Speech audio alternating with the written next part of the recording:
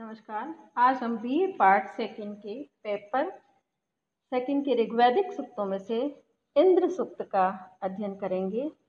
इंद्र ऋग्वेद के तैंतीस देवताओं में से सबसे महत्वपूर्ण देवता माना गया है। यह अंतरिक्ष स्थानीय देवता है। आर्यों का राष्ट्रीय देवता और युद्ध में विजय प्रदाता देवता के रूप में यह प्रसिद्ध है।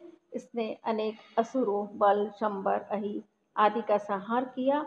और सभी लोगों को उनके अत्याचारों से मुक्ति दिलाई। ये अपने वज्र से राक्षसों का संहार करता है। इंद्र के शारीरिक स्वरूप का भी सुंदर चित्रण मिलता है। वज्र, बाहु वज्रहस्त शुशिप्र आदि और वृषभ, सोमपा आदि भी इसके विशेषण है। सोमरस का पान करके ये अपने शत्रुओं का, असुरों का संहार करता था।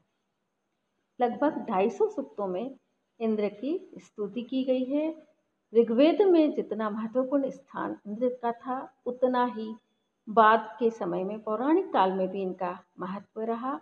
वर्षा के देवता के रूप में तो ये प्रतिष्ठित थे ही स्वर्ग के अधिपति देवता स्वर्ग देव या स्वर्गराज के रूप में भी ये प्रसिद्ध हो गए। इंद्र सुक्त ऋग्वेद के दूसरे मंडल का सुक्त है बारवा सुक्त है। इसके देवता इंद्र है, ऋषि गृत्समत है और छंद त्रिष्टुप है। त्रिष्टुप छंद में चार चरण होते हैं और चौवालीस वर्ण होते हैं। प्रत्येक चरण में ग्यारह वर्ण होते हैं। पहला मंत्र इस प्रकार है, यो जात एव प्रथमो मनस्वान, देवो देवान क्रतुना पर्यभूषत यश सुष्मात रोदसी अभ्युसेताम नृमणस्य महना सजनास इंद्र। ऋषि, गृत, समत, इंद्र देवता के साहसिक कार्यों, वीरतापूर्ण कार्यों का उल्लेख करते हुए कहते हैं, यह जो इंद्र, देव देवता दिव्य गुणों से युक्त, देवता प्रथमो मनस्वान, सभी देवताओं में प्रमुख, प्रधान, मनस्वान, बुद्धिमान, मनस्वी देवता, जात एव उत्पन्न होते ही देवान क्रतुना परिभूषत उत्पन्न होते ही जिस प्रमुख और मनस्वी देवता ने देवान अन्य देवताओं को क्रतुना परिभूषत अपने पराक्रम से, अपने सामर्थ्य से परिभूषत सुशोभित किया, विभूषित किया। यस्य सुष्मात रोदसी अभ्यसेताम। यश सुष्मात जिसके पराक्रम से, जिसके बल से और निम्नस्य महना, निम्नस्य अर्थात नेतृत्व नेतृत्व की महत्ता से, नेतृत्व के महत्व से रोदसी अभ्यसेताम द्यूलोक और पृथ्वी लोग अभ्यसेताम कांपते हैं जनास ही लोगो स इंद्र, वह इंद्र है। यहाँ ऋषि गृत समद के विषय में एक अंतर कथा प्रचलित है कि ऋषि गृत समत ने इंद्र का रूप धारण कर लिया था। इसलिए सभी राक्षस इंद्र समझकर उनका वध करने के लिए उनके पीछे पड़ गए।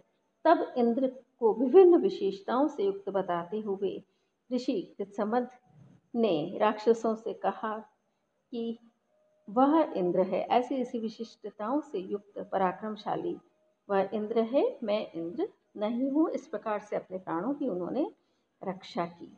इंद्र देवता उत्पन्न होते ही सभी देवताओं में प्रमुख और सर्वप्रधान देव बने अपने पराक्रम के कारण, अपनी बुद्धिमता के कारण, अपने साहस और बल के कारण, उनके साहस और पराक्रम के प्रति रोदसी अर्थात द्यूलोक और पृथ्वीलोक भी कांपते थे। द्यूलोक और पृथ्वीलोक के निवासी भी उनके प्रति नतमस्तक थे, उनकी वीरता को नमन करते थे और नेतृत्व संपन्न थे। संपूर्ण ब्रह्मांड के शासक के रूप में इंद्र देवता कहे गए हैं। यहाँ रुद्रसी वैदिक प्रयोग है प्रथमा द्विवचन का रूप है। द्व्यूलोक और पृथ्वीलोक का संयुक्त नाम है यह। देव शब्द की व्युत्पत्ति यास्क ने की है। देवभूतानाथ ज्योतनाथ दीपनाथ वाजुदानशील है ज्योतनशील है और देदीप्यमान स्वरूप वाला है। उसे देव कहा जाता है। स जनास इंद्र चौथे चरण की जो यह पंक्ति है वह सभी मंत्रों में आई है। अंतिम मंत्र को छोड़कर जनासा भी प्रथमा बहुवचन का वैदिक प्रयोग है। तो यहाँ इंद्र के महिमाशाली शासक के रूप में, महिमा से युक्त शासक के रूप में, एक नेता के रूप में उन्हें बताया है। संपूर्ण ब्रह्मांड का शासक बताया है। लोक और पृथ्वी लोक भी जिसकी महत्ता, जिसके पराक्रम, जिसके बल के प्रति नतमस्तक है। ऐसा महिमामय और पराक्रमशाली इंद्र का व्यक्तित्व यहाँ ऋषि के समर्थ ने वर्णित किया है। दूसरा मंत्र इस प्रकार है, यह पृथिव्यम व्यथमानाम अदृहद यह पर्वतान प्रकुपितान अरमनाथ, यो अंतरिक्षम विममे वरियो योध्याम स्तबनाथ सजनास इंद्र।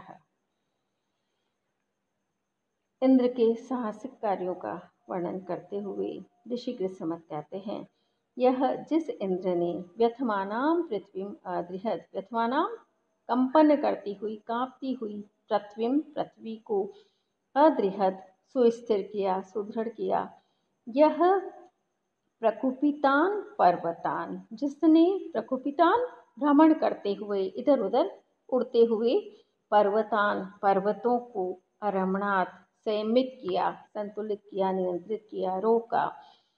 यो वरीय अंतरिक्षम में जिसने वरीय अर्थात विशाल, विस्तृत अंतरिक्षम अंतरिक्ष का विम में निर्माण किया।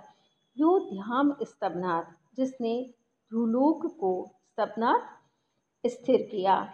जनासह हे लोगों, स इंद्र वह इंद्र है। यहाँ इंद्र का शासक और नियंता रूप प्रतिपादित किया गया है ऋषि के द्वारा। समस्त ब्रह्मांड की समस्त वस्तुओं को उन्होंने सुव्यवस्थित किया। पृथ्वी को, पर्वतों को, अंतरिक्ष को और द्यूलोक को सभी को संयमित नियमित किया, सुस्थिर किया। पृथ्वी व्यथमानाम से यहाँ षष्ठी उत्पत्ति के पूर्व की अवस्था का आभास होता है। जब पृथ्वी आग का गोला थी और उसमें अनेक विस्फोट हुआ करते थे, इसीलिए पृथ्वी को कंपनशिला कहा है। और पर्वत भी पहले पक्षधारी थे और इधर उधर भ्रमण करते थे। इससे संपूर्ण लोगों के निवासियों को पीड़ा होती थी। तो उनके निवेदन पर इंद्र ने अपने वज्र से पर्वतों के पंख काट दिए और उनको एक जगह, एक स्थान पर स्थिर कर दिया। विशाल अंतरिक्ष के निर्माता के रूप में इंद्र की महिमा यहाँ प्रतिपादित की गई है।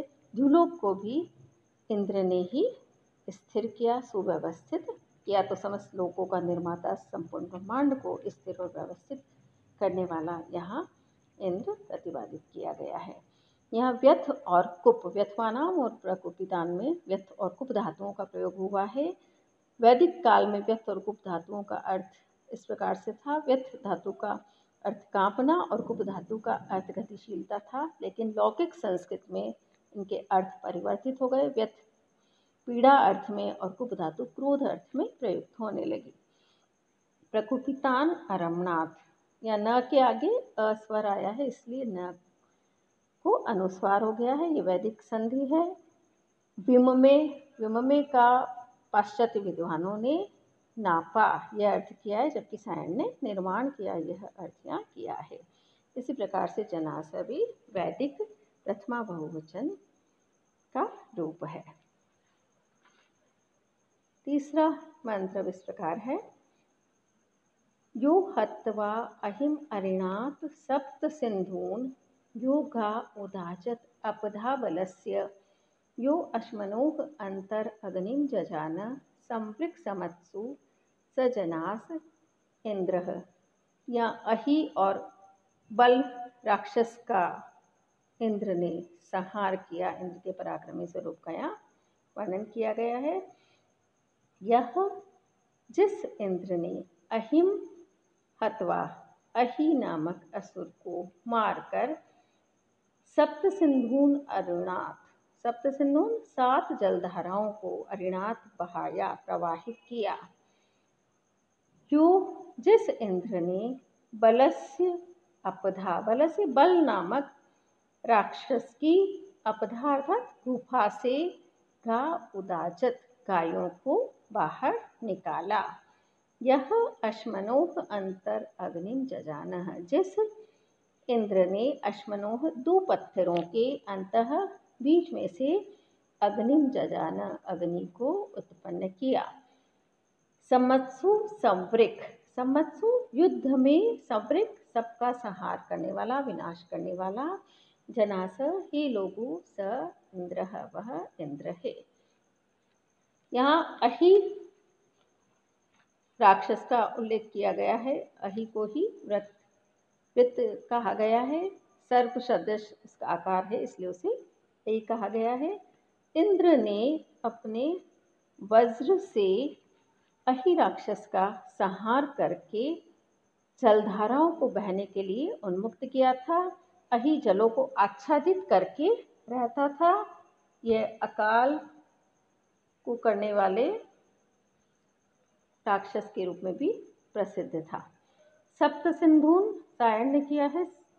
सामान्य जलधाराएँ और गंगा आदि सात नदियाँ। बल राक्षस के विषय में भी कहा जाता है कि बल राक्षस ने आ, ये आर्यों मतलब गायों का चौर असुर था। आर्यों की गायों को उसने चुरा लिया था और उसे अपनी गुफा में कैद कर लिया था। तब आर्यों की प्रार्थना पर इंद्र ने इस राक्षस का संहार कर गायों को उन्मुक्त किया था। साथ ही इंद्र को यहाँ अग्नि के उत्पत्तिकर्ता के रूप में प्रतिपादित किया है। दो पत्थरों के बीच में इसने अग्नि को उत्पन्न किया। मैकडोनल्ड के अनुसार दो बादलों के बीच में विद्युत अग्नि को, विद्युत को इस इंद्र ने उत्पन्न किया था क्योंकि वर्षा का देवता है इसलिए यहाँ अग्नि का अर्थ विद्युत अग्नि माना गया है। युद्ध में वो सबका संहार करता था। युद्ध के लिए आर्य विजय प्राप्त करने के लिए उसका आह्वान करते थे। युद्ध में समस्त शत्रुओं के सहारक के रूप में प्रसिद्ध रूप से प्रतिपादित किया गया है। जनास जनास इंद्र ये लोगों का इंद्र है। जनास पर पूर्वोक्त प्रकार से ही हमें टिप्पणी लिखनी है। जनास वैदिक संस्कृत प्रथमा बहुवचन का रूप है। धन्यवाद।